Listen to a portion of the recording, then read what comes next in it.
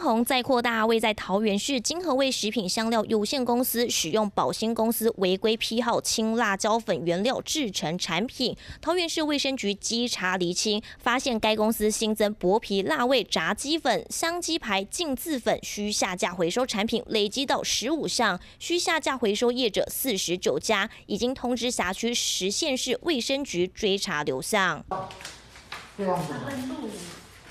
桃园市卫生局表示，金和味所生产的炸鸡粉有销售到桃园市十六家食品业者，随即通知下架。经查，在架上未出货还有三百三十四点二公斤，预计三月十一号回收完成。对此，金和味食品也发出公告，强调公司在制作商品时，对原料供应商都严格把关，进货来源都有符合法规标准的卫生检验报告文件，一切程序按照食品卫生相关法令的要求。另外，南投卫生局也接获通报，高雄金站公司检出苏丹红的辣椒粉有八千九百八十八公斤流入金福华食品贸易有限公司南投厂，紧急前往稽查。不过，厂内只剩下十三点二十二公斤，其余含有苏丹红的辣椒粉都已经被制作成沙茶酱等五十五款产品，而且全数出货流向全台一百三十九家厂商，遍布全台各地。目前，南投卫生局已经通。通知下游厂商下架并回收。